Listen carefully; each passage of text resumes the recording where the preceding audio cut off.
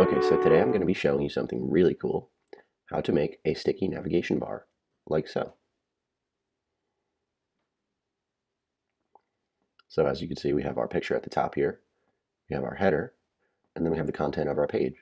When we scroll down, the picture stays at the top, but the header follows us with the rest of the page. Let's get to it, shall we?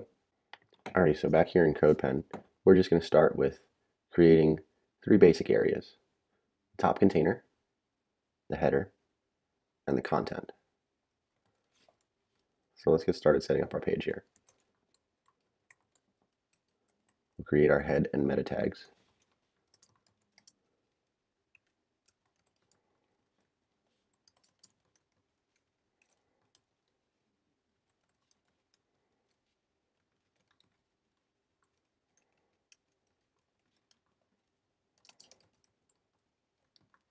We'll set our viewport width here.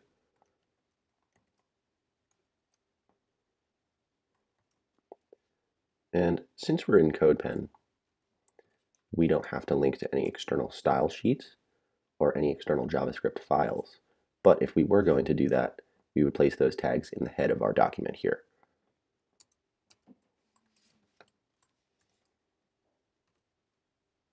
So to create our body, we'll start off making the top container right inside our body tag.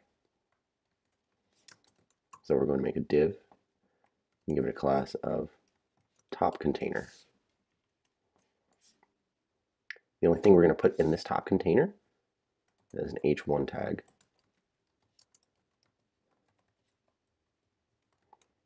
And then we'll close it right up. And then below that, we'll make our header.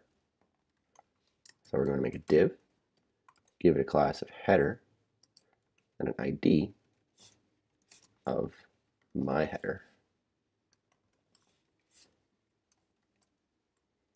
Then here, we're going to put an h2 tag. We're going to call this my header. And then we'll just close it up. Now underneath this tag is where we're going to put the content of our page. We just need a little bit of text so we're able to scroll down. So we'll make another div and give it a class of content.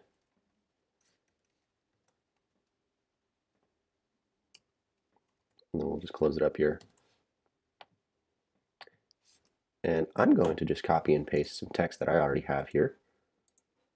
Pretty much a few paragraph tags and a heading. So let's go ahead and throw that right in there.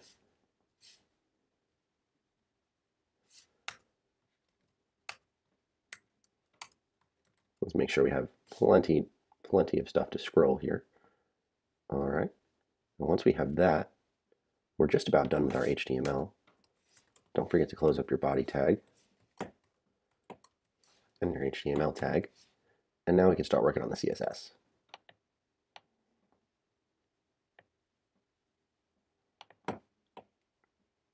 So in CodePen, we'll come down to our CSS editor here. And we'll just start by styling the body with a margin of zero. And we'll set the font family.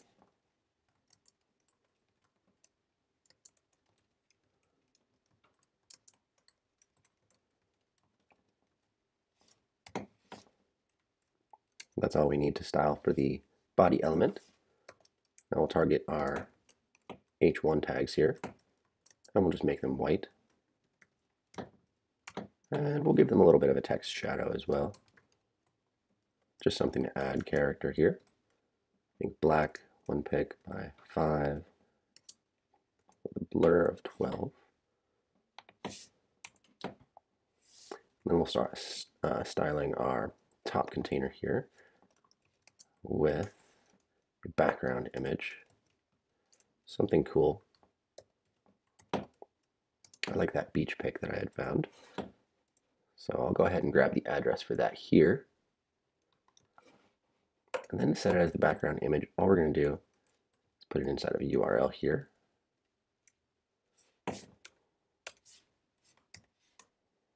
And we have one too many quotes there. There we go. And then we'll close that up. And we'll just give a little bit of padding as well. And we'll align the text to the center. There we go. That looks a little bit better. So after that, we'll start styling our header, which is the my header area right here. To do that, we'll just target the class header. And I think we'll give it some padding first. Let's see, I, I like to use the rem units. Um, just, just about for everything. Keeps everything working smoothly together. Let's see, I'll set the background to, it's a dark color. 222, I believe that should be, yeah, it's a dark gray. And then we'll make the text in here white. So we'll go back to the FFF there. That should make our text white. And then I think we could add a little depth to this this uh, header here by giving it just a little bit of a, a box shadow. So to do that, we say box shadow black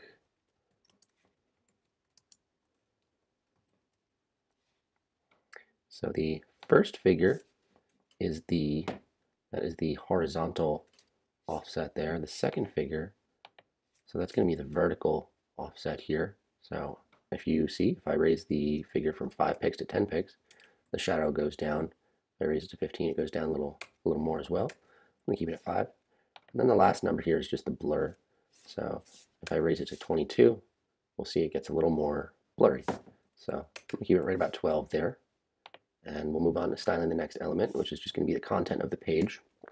So pretty much for the text on the page, we don't really need too much styling, maybe just a little padding to keep it off of the edge of the page. There we go.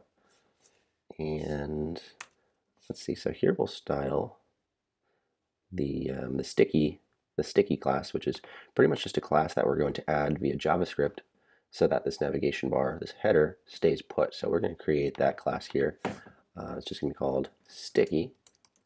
And we're going to give that a position of fixed, top position of 0, and a width of 100%.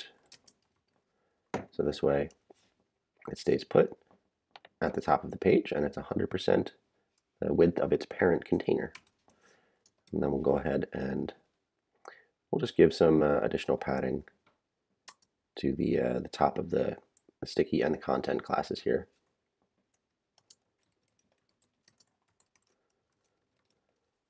So padding top. And you'll see why we have to do that in a second here after we start working on the JavaScript. So as you can see, right now, pretty much we just have our page set up. It's all styled. Now we just need to make that header stick to the top when we scroll down. So all we're going to do for that is we're going to make a on scroll function here with JavaScript.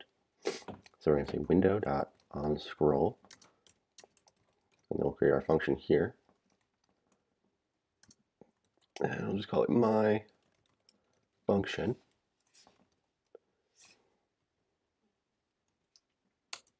We'll create two variables, one for the header, and then we'll select it by the ID, document.get element by ID.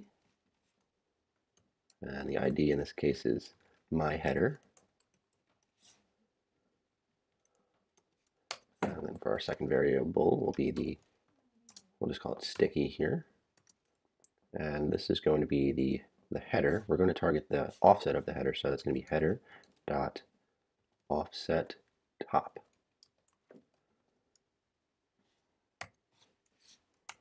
And then we'll create our function. Right under here, we'll create my function.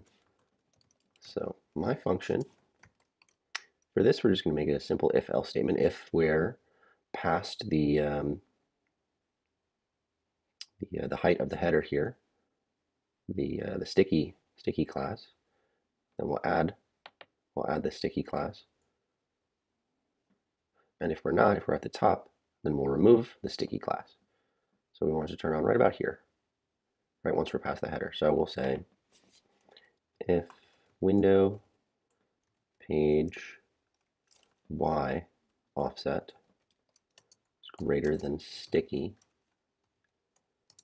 then header class list dot add, and I'll just add that class that was created, that sticky class. And then we'll go here and make our else.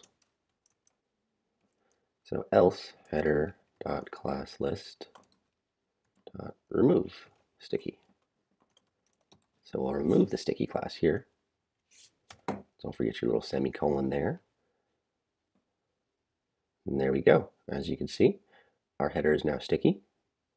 When we start scrolling, it will attach to the top as we move down the page. And once we reach the top of the page again, it'll go back to where it was. So anyway, that's all I have for you today. I hope you enjoyed and I hope you learned something. And if you did, it would really help me out if you dropped a like, maybe a comment, or even a subscribe. I'd really appreciate it. Anyway, I'll see you in the next video.